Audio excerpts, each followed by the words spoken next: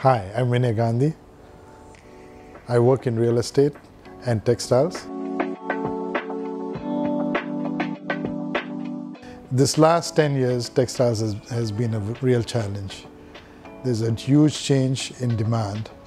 As you can see that most of the printing industry is shutting down because of digital, digital prints.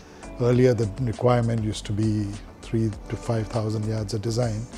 That's reduced to negligible. Even you can print 20 yards, 10 yards, whatever you want to.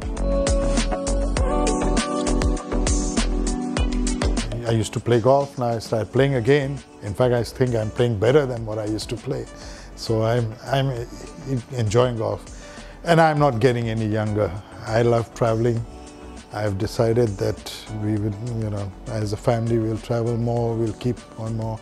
Even with my friends, we do a little bit of traveling once a year, at least go out for some trekking. Enjoy that, enjoy good friends.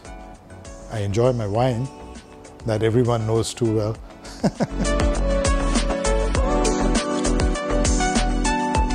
if I don't enjoy now, when am I going to enjoy it?